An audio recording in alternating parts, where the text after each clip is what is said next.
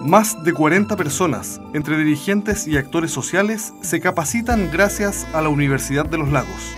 La única universidad estatal de la región de los lagos imparte el diplomado en educación sindical a cargo del Departamento de Ciencias Sociales de la ULAGOS, a partir del proyecto Escuela de Formación Sindical Nuevos Líderes 2012, adjudicado ante la Subsecretaría del Trabajo. El diplomado brinda formación orientada a generar y fortalecer las competencias para el ejercicio de roles como agentes de cambio a través de la implementación de una escuela sindical, considerando la generación de habilidades en materias como negociación colectiva, liderazgo, protección social, gestión y desarrollo de organizaciones, equidad de género y responsabilidad social. Se trata de 200 horas presenciales para abordar contenidos básicos, intermedios y de especialización para quienes llevan menos de dos años en calidad de dirigentes sociales. Un esfuerzo que habla del interés de la Universidad de los Lagos por seguir acercándose a las realidades y necesidades de la comunidad local,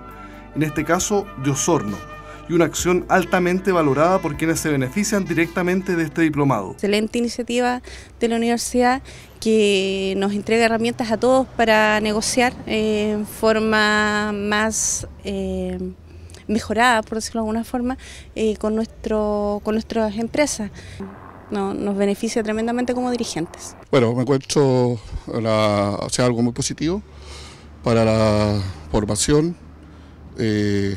de todo lo que estamos acá dirigiendo algunos sindicatos o empresas. Y bueno, todo acá, el cuerpo docente que hay, eh, que ha sido hasta el momento ya una capacitación, eh, que sé yo, como dijera, muy, transparente y cosas muy que, que desconocíamos súper super bueno, ya que nosotros casi todos los que estamos participando en el curso somos gente que tenemos menos de dos años de experiencia, nos va ayudar bastante a mejorar nuestro, nuestra calidad de vida de nuestros trabajadores, eh, de subir de escalafón, ya que el Código del Trabajo contempla un sueldo base y a través de la negociación mejorar el, el, el dinero, la parte que, económica que va a llegar a los trabajadores y también su salud. Los académicos Soraya Espinosa, Gustavo Torres y Ramón Vivanco el ingeniero Freddy Bonfner